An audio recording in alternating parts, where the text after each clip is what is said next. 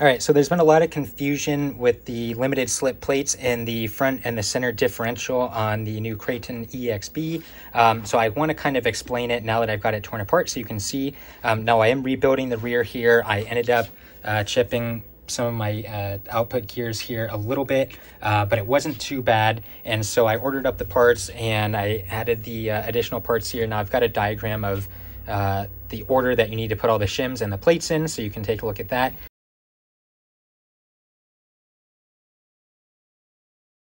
Um, but let me explain exactly how these plates work.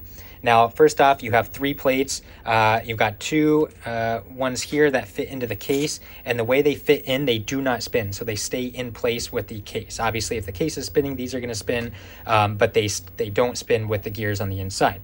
The one that does spin with the gears on the inside is the center one. So the way the center one works is it pops right there and it's sandwiched in between the two plates and helps to create a limited slip effect.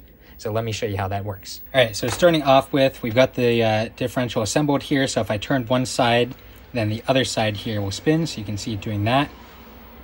Let's go and pop these plates on. So the first one is gonna go on in here and basically it goes around that. And when we spin the other side here, you can see that plate does not move, it just sits there.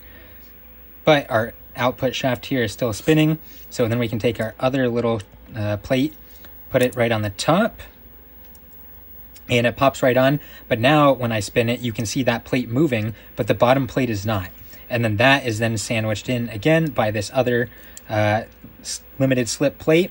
And so basically, as you turn it, you get a limited slip action because the disc in between these two are spinning and basically rubbing on here, helping to uh, send power to the other side and make it limited slip. And that is how the new limited slip differential works in the new Kraton EXB.